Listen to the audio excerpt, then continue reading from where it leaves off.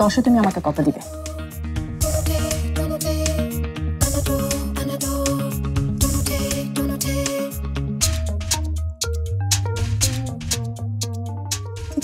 হলো? তুমি এখন আগের মতো প্র্যাঙ্ক করো না? সরি টেস্টের দিক থেকে পাঁচশো দশ পাবে তুমি।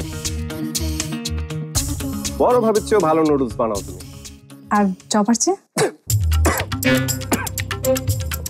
সরি আমার আসলে এভাবে বলাটা উচিত হয়নি। না ঠিক আছে।